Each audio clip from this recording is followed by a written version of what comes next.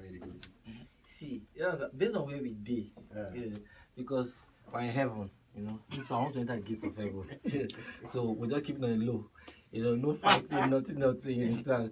Then maybe when we get in, Hey, you're gonna fight. yes, you think we take it You're out. crazy, man. Get out. Who fights in heaven? well, really, really, that's crazy though. But uh, Dozzi and Stunt. So, what do you guys think? what would you do at that point in time? Trust me, I'm going to. I go wind the guy for there. I go must enter. Like I'm already in front of the gate of heaven, and it's just the guy. I'm going to convince him there. Trust me. You're gonna tell go, him, bro. we go stupid settle like am for there. I swear.